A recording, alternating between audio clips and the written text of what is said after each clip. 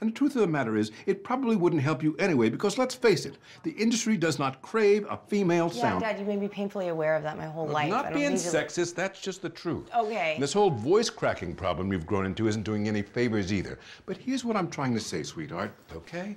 You should stick with the accents. I mean, that's your thing. That's what you're good at. What was that great, that Russian Star Wars thing you used to do as a kid? Yeah, I know the one you're talking about. But Dad, can we? No, can no, we- what was it? It was. I. d- Don't make me do it Come right now. Dad, on. I don't want to do it right now. Please, let me hear it.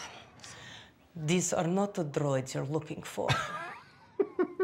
I just love that. It's so random.